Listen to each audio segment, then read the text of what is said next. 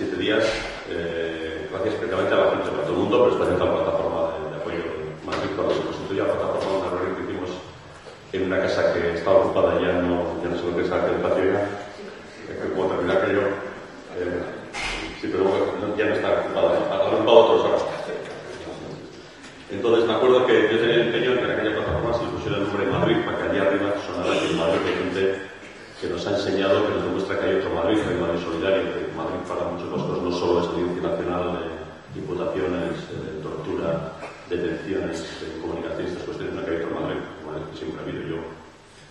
Iba a decir ahora tuve la suerte, tampoco la suerte que hice el servicio militar del Ministerio de Marina y Civiles Estuvieron 14 meses haciendo y conocí la época un poco más roja de Madrid cuando, cuando Rogería estaba más suelto para calle que andaba por, por Madrid. Estamos muy agradecidos a la plataforma. Y me hace gracia lo que dice Jaime eso de que Bulgaria nos ha unido y nos, es, nos hemos llevado bastante bien porque yo que he estado en muchas plataformas de apoyo a Bulgaria y he estado en muchas, en muchos, trabajando mucha gente de este tipo, me sucedió también en Zaragoza, me sucedió también en Valladolid, en plataformas, grupos políticos, entidades políticas que habitualmente en la política local tienen fuertes discrepancias eh, cuando se trata de cuestiones que son exteriores apenas, pues a uno por se olvidan esas peleas que tienes de que tú eres la escisión, porque esto siempre ha sido la escisión, la escisión de la escisión.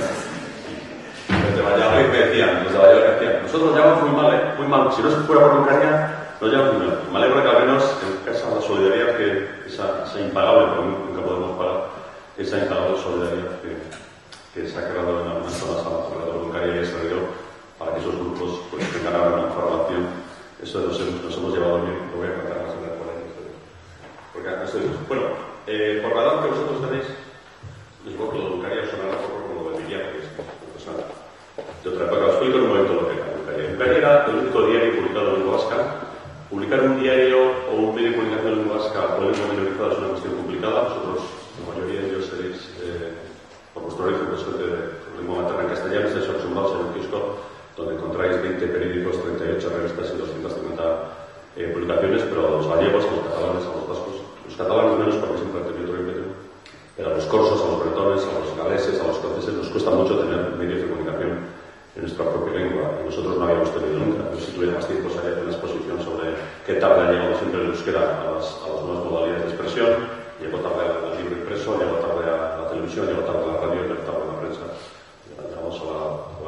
la televisión 40 años tarde, a radio 40 y pico años tarde, llegamos al libro impreso 50 años tarde y hemos llegado a los diarios con 200 años tarde. Hubo una experiencia pequeña de un diario llamado Egun, Egun, perdón, Euna, la guerra civil del 36 al 39, la experiencia fue del año 37, 1 de enero del 37, hasta que cae el gobierno de los fascistas y entonces se disuelve el diario, un diario propuesto por el gobierno vasco. Es una, una anécdota que siempre cuento. En la República nunca reconoció, los catalanes siempre habían tenido generalitat, siempre, de años previos. ¿no? Nosotros no habíamos tenido nunca gobierno vasco hasta que sale, hasta que avanza la guerra, hasta que la guerra, y de aquí a dos meses la República reconoce el gobierno vasco, pero no había, no había, no habían tenido nunca gobierno vasco. Los catalanes habían tenido, Margal fue el presidente número 149 de una generalitat. ¿no? Nosotros no habíamos tenido nunca. Pues la primera decisión que el 1 de enero toma el diario, cuando, eh, el, el gobierno vasco cuando se constituye, en, en plena guerra, es crear un diario es la primera decisión que, que, que Y es un diario de combate ¿no? para las tropas en, la, en el frente para explicar lo mal que iba la guerra, principalmente. Y es un, y es un, un diario que es, que clausura que se cierra porque el gobierno vasco se tiene que, tiene que salir de Avilón porque las tropas fascistas están ya llegando muy cerca eh, a Avilón y solo dura, durante, dura siete meses. No habíamos tenido, por supuesto, el franquismo ningún diario en Euskadi y en 1981-82 se pone en marcha la televisión y la radio vasca como consecuencia de los estatutos de autonomía y pues, la televisión catalana, la televisión gallega y la vasca y la radio empiezan a funcionar más o menos se le ocurre vasca. No es habitual en nuestro entorno político que se hagan diarios en lengua vasca. En Europa no hay diarios, perdón, diarios públicos, quería decir, no hay diarios públicos en nuestro entorno. En aquella época los únicos diarios públicos eran los del bloque soviético y yo creo que el Granma en Cuba y algunos otros más. no creo que había en el mundo muchos diarios de titularidad pública. Es habitual que haya televisiones de titularidad pública, televisión española, la RAI, la televisión francesa, la BBC. Hay, en todo el mundo hay televisiones eh, de titularidad pública y también radios, pero no es habitual que haya prensa, prensa diaria, y semanarios no suele ser de titularidad pública. Por lo tanto, un grupo de promotores, después de que el año 81 y 82 se ponga en marcha la televisión, el grupo de promotores pone en marcha una especie de promotora que es Bulgaria Sorte, compuesta por 75 personalidades del mundo de la cultura de Euskaldun, escritores, cantantes, editores, periodistas, profesores de la universidad, comunicólogos, comunicadores. Pone en marcha la promotora que en 1990, una fecha que para nosotros es muy, es muy importante y también para muchos españoles, que es la 6 de diciembre. El 6 de diciembre, el 6 de diciembre nace el diario Euskaria en 1990. Es un diario integrante de euskera, nace con 40 páginas, 44 eh, páginas, 48 páginas, eh, unos 30 y pico eh, redactores y una empresa pues, con 60 trabajadores. Eh, es un diario normal, es un diario estándar, es un diario que tiene las secciones de política internacional, de deporte, sociedad, cultura, agenda, televisión, opinión, columnista, un diario como lo habla de cualquier otro diario. Y un diario que poco a poco va empezando a hacer, hacerse su hueco, a hacerse su mercado en, en los kioscos, que para cierto eh, prestigio era seguramente la niña mimada de la cultura de Euskaldun, de la cultura vasca. No había sucedido nada tan importante en los últimos 30 años, el nacimiento por, por iniciativa popular diario en euskera. Las iniciativas populares en el País Vasco son muy típicas. Las, culturas minorizadas, también los países minorizados, las naciones minorizadas como la nuestra, son muy típicas. ¿no? Así nació el diario Evin, así nació el diario de ella, así nació las Castolas, así nació el diario Win, Cataluña, por ejemplo, el famoso diario Win nació en Cataluña por, por, por promoción, eh, promoción popular de la gente que su marcha. Eh, en 1990 se pone una campaña de, de promoción del diario para, para, convencer a la gente de dos cuestiones. Una que es posible hacer un diario euskera, porque daba la sensación de que era difícil hacerlo, que es posible hacer diario euskera y que es bueno para la promoción de euskera hacerlo. Se pone en marcha una campaña de recaudación de fondos y venta de acciones que sirvió a la Guardia Civil para decir que esa campaña era la tapadera al comienzo cuando, cuando me ha dicho Carmen, a nosotros se nos ha acusado de dos cosas que son incompatibles. De que, nos, que ETA nos financiaba a nosotros y que nosotros financiamos a ETA. Una de dos, nos financiaba ETA o nosotros financiamos a ETA, o si no, o si no, no. Lo es posible es que los lunes ETA te dé dinero, los martes se lo devuelvas, el miércoles te lo trae y tienes ahí a los mongolaris en la frontera haciendo eh, locos. Oye, que es martes, hoy tengo que llevar, es miércoles, tengo que traer. Esas cosas de la Guardia Civil, que como Carmen conoce muy bien, la Guardia está acostumbrada a la Audiencia Nacional a acusar de cualquier cosa y cualquier cosa la que acusa luego la ven sentencia. O sea, la ven autos y luego la ven sentencia, ¿no? Es el vicio que tiene la Guardia, la Policía Nacional en temas vascos en la Audiencia Nacional, sobre todo en aquellos casos de impulso político. Claro, esos son los casos en que uno le pilla con 40 kilos de acosado. Eso es otra cuestión, pero el impulso político son, se menciona aquí, 1898, el caso de Cajarra y el caso de Guim, estas cuestiones. Antes se me olvide, quiero recordar, y quiero solidarizarme con ellos y exigir la, la escarcelación de Javier Saludre, director de Guim, Teresa Toda, subdirectora de Guim, Jesús María Calacay y otros miembros del Consejo de Administración que yo creo que justamente fueron condenados por el caso de y están cumpliendo ahora condena. Yo creo que después del. Después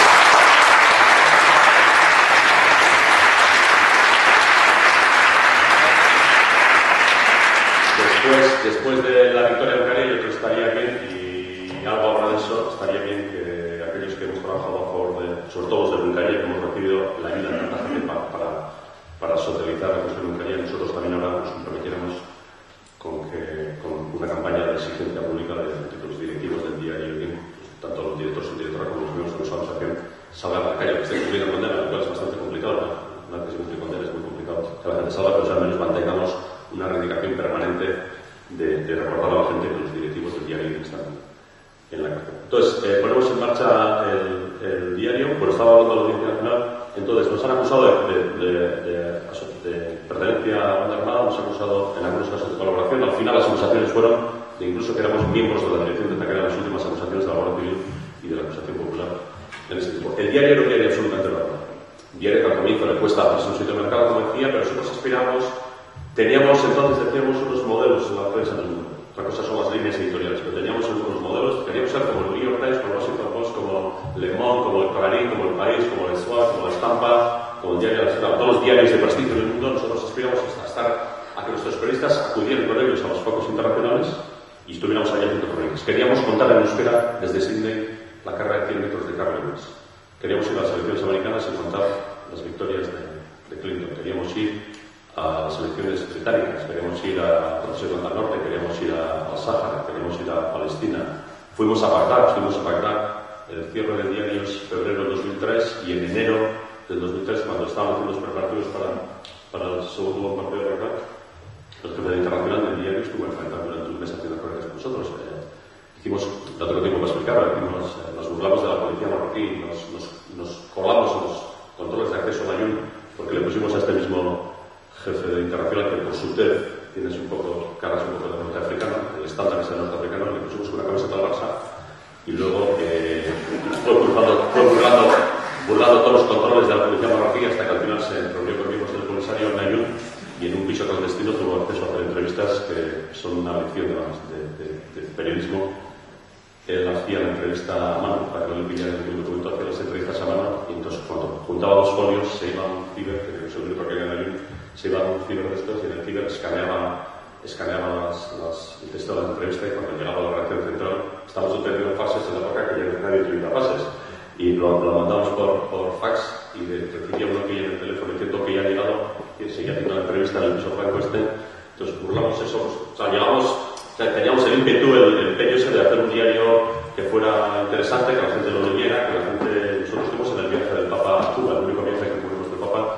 Nosotros éramos y seguimos siendo un diario muy laico, muy afrancesado los obispos vascos siempre se quejan de que les hacemos caso, pero algún mérito que hacerle de que les caso. Tenemos pocas páginas y les para Pero sí fuimos al viaje del Papa a Cuba porque nos pareció que era un viaje estratégico y era un viaje del choque de dos trenes, eh, dos monstruos del siglo XXI, en la mejor atención de la palabra, ¿eh? más partido que partido creo, pero que, que encuentro entre Castro y, y esto era, era, es interesante, era muy bonito cómo se desarrolla. Yo fui el, yo fui el que de las, aquel, aquel viaje para un periodista que era aquello anterior. Entonces éramos un diario y estamos intentando hacer un periodismo serio, un periódico eh, muy respetuoso con la gente. Yo tenía fama y sigo teniendo fama de, de que eh, llamar bastante la atención a algunos columnistas que yo creo que en algunas activaciones se excedían y tenía fama de, de, cortar un poco y llamarle a decirle, pues así lo vamos a andar.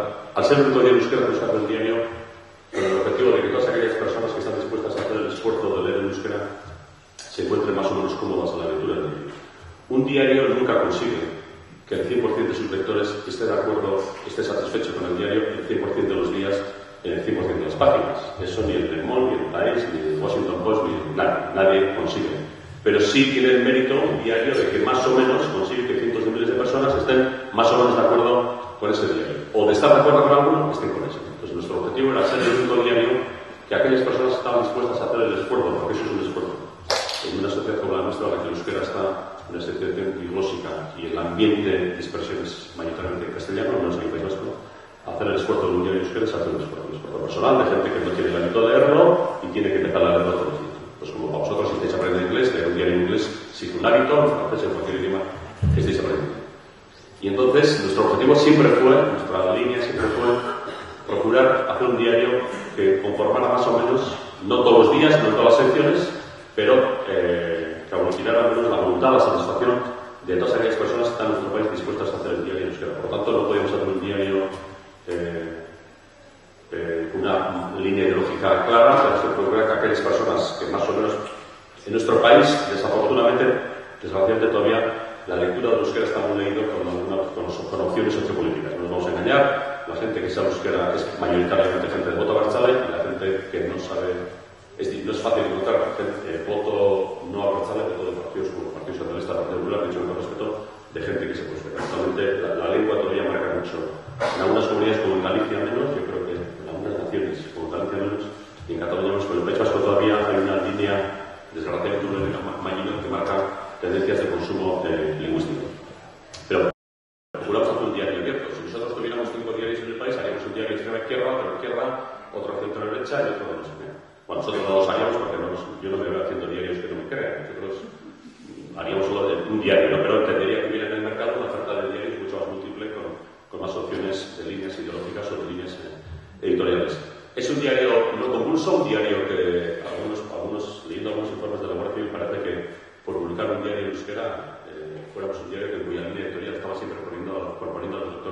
conquista o la toma del Palacio de Controla con antorchas y, y, de noche y pidiendo justicia y que le pagaran el palo mayor de la bandera, no sé quién. Es un diario tranquilo, un diario eh, que tiene una línea clara en el conflicto vasco, un diario que siempre proponía, proponía que todas las presiones de violencia tenían que desaparecer del conflicto y que había que respetar derechos vascos y su futuro. Era un poco la, la línea del diario y también la línea de actúa Hasta que una noche, 20 de febrero de 2003, el juez del Olmo, de la Audiencia Nacional, el juzgado de instrucción número 6, ordena a la Guardia Civil la clausura del diario, ordena el arresto de 10 personas, ordena la, el, el, traslado, el registro, la incomunicación y el interrogatorio de 10 personas. De esas 10 personas, nueve éramos en aquel momento directivas del diario, o lo habíamos sido antes, o lo habían sido antes, o éramos directivos del diario, excepto una persona, Sabina Alegría, que nunca había tenido ningún contacto directo con el diario en el sentido de que nunca había pertenecido a ninguna estructura crónica del diario. Xavier Alegre es un personaje,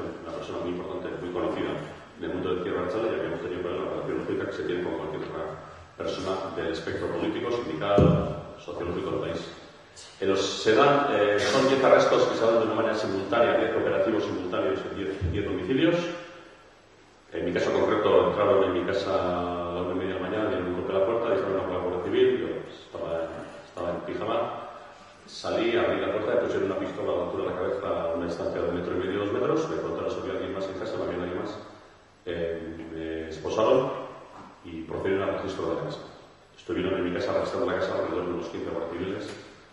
Se llevaron una detención porque pensaban que al ser director iba a tener una casa más grande. Me contaron luego el camino mientras desde luego, vaya, vaya piso que tienes para ser director diario. Seguramente estaban acostumbrados a poner micrófonos en, diario, en pisos de diarios, de directores de diarios importantes, esos de grandes. De mi casa se llevaron eh, objetos, vosotros ya conocéis todos los consumibles, se llevaron objetos tan peligrosos para la seguridad del Estado y para el orden constitucional, como una incurriña. Se llevaron de mi casa la bandera de los presos de Euskal Preso a Euskal Herria que yo tenía en el balcón, con la cual mucha gente reivindica que los presos vascos cumplan condenas en cárceles vascas y no un castigo añadido a 800 kilómetros. Se llevaron el manual que suelen dar a los jóvenes flotando en el Harry. Cuando entras en Harry en ECA, es un manual, que es un libro de pilar urbano. Se llevaron, se ese libro de mi casa, se llevaron de mi casa el libro de pilar urbano. Lo cuento público porque voy a aplicar, conté al concilio también de alguna en algún debate y se lo conté. Por tanto, me tuvo la licencia que estaba público. Se llevaron de mi casa un libro de pilar urbano, que todos, conocéis, es la ideóloga de Harry, y es la que suele, en los cursos de verano de Harry, suele instruir a los jóvenes sobre la toma del poder y deja a los bolcheviques en unos monadillos cuando se toman. Vosotros calcularéis que se pueden contar en un libro de se llevaron un libro de Bernard Rocha. Se llevaron, bueno, el de Pilo Urbano te lo dan cuando entras en Harry, pero cuando pasas de Harry a Balasuna te dan otro, que es el libro que se mi casa, era un libro en euskera que es titulado en castellano, la traducción en castellano es Los vascos y la caza de ballenas, que es un estudio sobre la importancia de los vascos en la caza de ballenas en la, en la zona esta de, de Canadá. Se llevaron de mi casa, yo soy muy aficionado a la Fórmula 1, lo he sido siempre, yo, yo he sido tres años comentarista de Fórmula 1 en la televisión vasca, yo trabajé antes en televisión, antes de ser director del diario, que hacer documentaciones, y yo soy de la época de, de Ayrton Senna, Keke Rosberg, René Arnoux, Moreto, soy de aquella época. Sigo, la sigo, sigo mucho la Fórmula 1, pero, pero ya no la sigo tanto cerca, pero casa había documentaciones en la Fórmula 1 y se lo llevaron todo, yo sé que pueden, pensar ellos que van a encontrar en, en, en para Fórmula 1. Y luego cuento siempre la historia de que el otro día la publicó Isaac Rosa en el público, de que a mí, de mi casa se llevaron un autógrafo de José y no lo devuelto. Y el otro día un columnista, de, un columnista del público tituló diciendo, por favor, que le devuelvan el autógrafo de José. Y es cierto, es cierto porque yo, el, el, el, el año 86, cuando se inauguró el circuito de Fórmula 1 Jerez, corre yo esperando en el hotel, cuando los pilotos de Fórmula 1 eran más accesibles de lo que son ahora, pues he pedido autógrafo Tampoco es que se haya muchos autógrafos, pero bueno, ya que entonces me dio la oportunidad hablar tres minutos con él y entonces pues le pedí autógrafo. Y entre todo ese material de por donde estaba esto, y han devuelto todo, todo,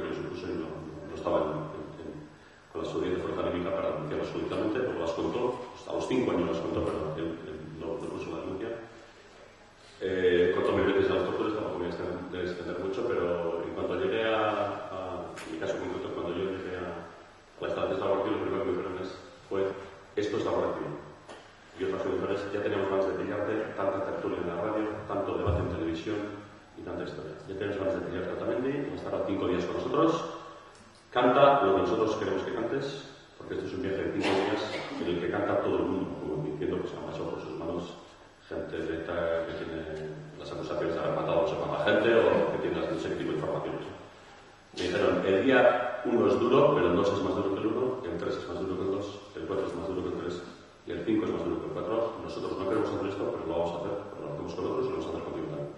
Pero si cantas, pues te librarás. Nosotros tendremos, no tenemos que hacerlo y tú te librarás de cinco días.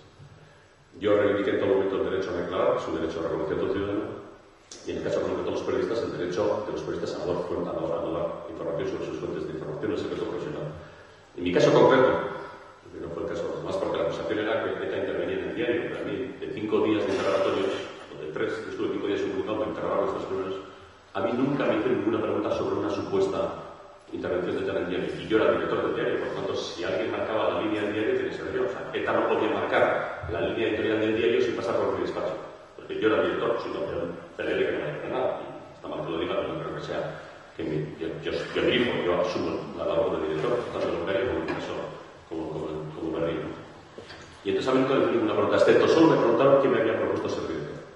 Me propuso Juan Manuel Grande, que era el presidente entonces, y Juan Martín Iñaki Uribe, que fue el conservador. Excepto eso, no me hicieron ninguna pregunta. Yo había realizado tres entrevistas periodísticas con ETA los años 99, 2000 y 2001. Tres entrevistas, 99, 2000 y 2001.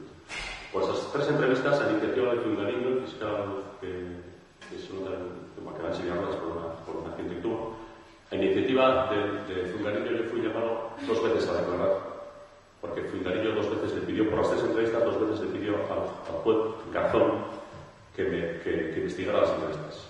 La acusación era de apología terrestre y formación como armada por realizar las entrevistas. El juez Garzón, eh, cuando empezó a hacer preguntas, bueno, entonces yo, por ejemplo, entonces nos detuvieron, en el caso de Tierra Ucrania, que tuvieron un operativo policial digno de, de detener a Bin Laden por, por el, el número de, de, miembros que tomaron parte, pero cuando previamente, antes del cierre del diario, que fui llamado por el juez Garzón a declarar, me llamó y cogí el avión con mi abogado, nos fuimos a Madrid, nos venimos a Madrid, fuimos a la Audiencia Nacional y por dos veces, en las dos veces el juez Garzón me preguntaba, ¿usted cómo gestiona las entrevistas? ¿Cómo se consiguen las entrevistas? ¿Cómo llegan? ¿Cómo traen? ¿Cómo lo llevan? ¿Con quién habla? ¿Con quién las hace? ¿A través de quién las gestiona? ¿Cómo llega al OK en la entrevista? ¿Cuándo las pide? ¿Para quién se las pide? Cuestiones que, son, que están todas cubiertas por el secreto profesional. Bueno, hay expertos juristas aquí en la casa, pero yo creo que hay tres oficios que la Constitución española eh, que protege a los que tenemos pasaporte español y es a, los, a, los, abogados en, en defensa de, de, de, de, su cliente, a los sacerdotes en acto de, en acto de confesión y a los periodistas. O sea, nosotros no estamos obligados a dar ninguna información sobre nuestro trabajo a ningún magistrado ni a la policía. Nosotros tenemos derecho al secreto profesional. Periodistas, los sacerdotes en acto de confesión y los abogados siempre en defensa.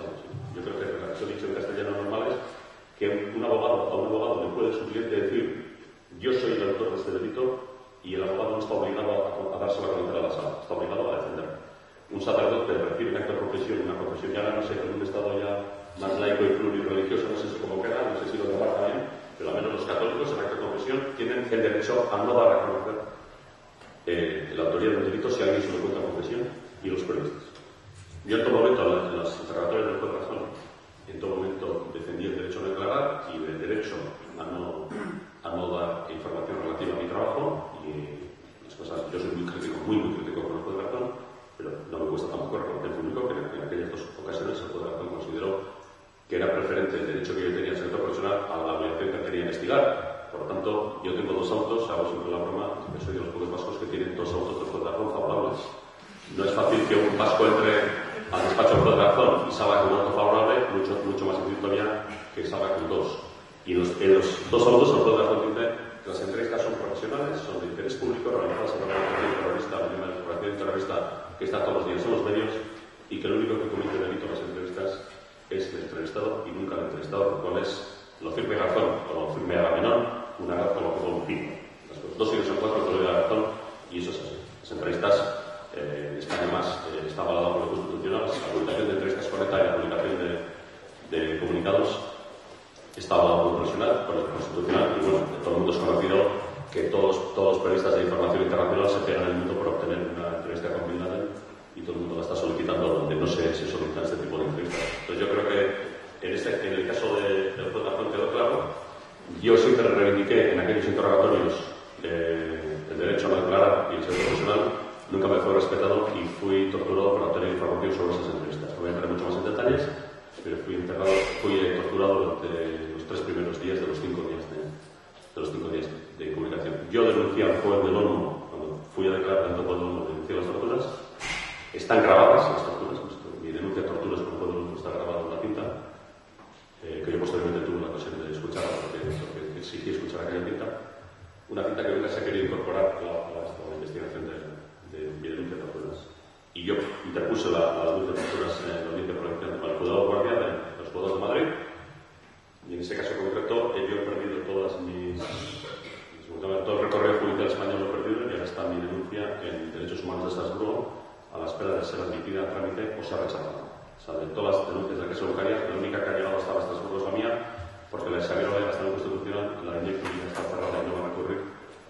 Eh, Juan Manuel Torres me puso denuncia, Chemo Mendy no sabemos dónde está, y la de, y la de, la de Chemo Mendy está en el grupo judicial, que está, está ahí en una carpeta que no sabe hasta que perdido el de aquella.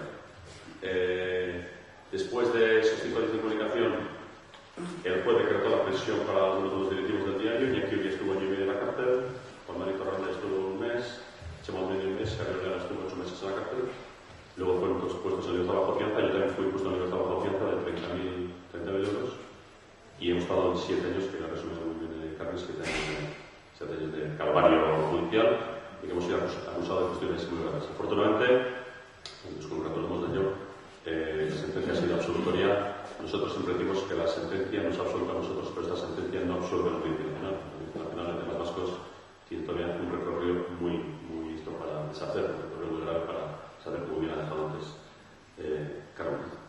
Eh, no voy a hablar mucho más, porque yo creo que es interesante que tenemos igual una, un turno de, de preguntas. Estamos muy contentos con la sentencia. Creemos que es la sentencia más dura que nunca la Audiencia Nacional ha dictado sobre la misma Audiencia Nacional. Y yo creo que es importante remarcar que el ponente de la Audiencia Nacional es el magistrado Gómez Bermúdez, que es el que llevó el juicio del 11M, ¿os acordáis? El magistrado que llevó la, el presidente de, las, de la sala del 11M, pero es el presidente de la sala de penal, yo creo que la Audiencia Nacional es en la jerarquía de Audiencia Nacional, después del presidente de Audiencia Nacional, está el presidente de la sala de penal. Y yo creo que hay elementos a Audiencia Nacional en esta sentencia que son muy importantes. Esta sentencia manda avisos a los jueces de instrucción, manda avisos a las asociaciones de víctimas, manda avisos a la Guardia Civil, porque dicta a los jueces que sean más vigilantes de la custodia. Quiere decir que si hay que ser vigilantes de la custodia es porque pasa algo en la custodia, es porque falla la custodia. Si falla la custodia, dice que se tortura, pero una manera muy inelegante y seguramente no, no había margen para decirlo de otra manera, porque tampoco se va a convertir ahora la Audiencia Nacional en el Comité de Prevención de la Tortura, pues manda mensajes claros para los magistrados para que sean más diligentes en la custodia, a la Guardia Civil para que no torturen y a las asociaciones de víctimas para que no hagan, eh, no se personen con cualquier acusación de cualquier tipo, diciendo todo es ETA, todo es ETA según una base probatoria, y también a la Guardia Civil para que no presente informes sin ninguna base Yo creo que da para, da para mucho. Eh, antes con nuestros compañeros, con los organizadores, que hay elementos, yo creo que para los siguientes casos que puedan venir de esos de impulso político que yo creo que Rosa Vincha Pedro Enrico Tabarra en algunas, esa afirmación cuando dice que, eh, incluso no conozco, no, se habla de la literalidad, pero podría encontrar, cuando dice que una organización puede estar trabajando para ETA, lo cual no quiere decir que todos sus miembros de la organización, si no, no son conscientes de ello, lo estén haciendo. Es una, yo en mi última intervención en la Audiencia Nacional eh, siempre tienes, al final del juicio, los acusados tenemos un minuto, dos minutos a, a dar una última declaración, una especie de últimas voluntades antes de ir a la, a la cárcel. Y yo solicité a la Audiencia Nacional que de una vez por todas eh, jurisprudencia en el concepto ese de que eh, está sucediendo en el caso de 1898, en otros casos hay que agarrar el condenado pues, eh, por el juzgado sabe que es de ETA cuando se lo dice el juez. Y no es posible eh, ser de ETA sin saberlo. No puede estar. Eh, yo estoy convencido que las Sargento Tabernas no son de ETA. Pero en el caso de que fuera, no puede estar trabajando en la Sargento Taberna sin saberlo y sin ser consciente de ello. Además, además de eso, estoy convencido que ni Cajarray, ni 1898, ni Egin, ni Arco Tabernas, ni la Mencha son de, son de ETA. Yo creo que hay elementos que tienen eh, mantener el fuego, yo creo, en las posteriores causas que están abiertas en la audiencia, en la audiencia nacional. Eh, yo no sé, como bien ha dicho Carmen, eh, ETA no te da un carril, ¿no? pero yo imagino que hay dos maneras de entrar en ETA como entrar en cualquier otra organización. O te presentas tú a alguien que crees que puede ser ETA para decir, yo quiero ser, quiero ser ETA y estoy dispuesto a colaborar, o si no, que yo creo que es lo más habitual, alguien te capta, alguien te, te viene y te dice, oye, nos conocemos del barrio, de la escuela, de la universidad, ¿esto qué te parece? Si estarías dispuesto, estás de acuerdo con, yo creo que en este tipo de organizaciones es más captado. Yo creo que pasa en cualquier partido político también. Que la gente viene y dice, ¿estarías dispuesto a entrar en el sindicato, trabajar con los trabajadores? Pues, pues, tienen que demostrar que nosotros entramos en él. Tienen que pasar, por ejemplo, cosas tan sencillas como cuando entramos en él. Entramos todos juntos, los dos días un cari, entramos uno por uno. Eh, primero las chicas y luego entramos los chicos. Eh, eh, ¿Cómo me llegaba la vida sobre la ¿Quién me la estaba? ¿Quién coordinaba yo la vida si, si nos acusamos a nosotros de ser directivos de ETA y además de ser los encargados de llevar la línea editorial del diario, tendrán que mostrar quién y quiénes de se ponen en contacto conmigo, con nosotros, para darnos las instrucciones, las sugerencias, las críticas, eh, para decirnos esto está mal hecho, hay que ir por aquí, o en el tema de la crisis eh, Grecia, pues tienes que informar por aquí, o en el tema de la yo creo que es importante eh, que se ha rompado unas portadas, antes Jaime también esa famosa tesis que la puso más alto de la de que todo se y todo le contrata, eh, yo creo que hay una importante desmontar esa, esa tesis y exigir a la Audiencia Nacional que si acusan a alguien de ser de se demuestre, se demuestre claramente que es de ETA, que esa persona es consciente de que es de y que además se demuestre. Entró, fue sometido a este tipo de,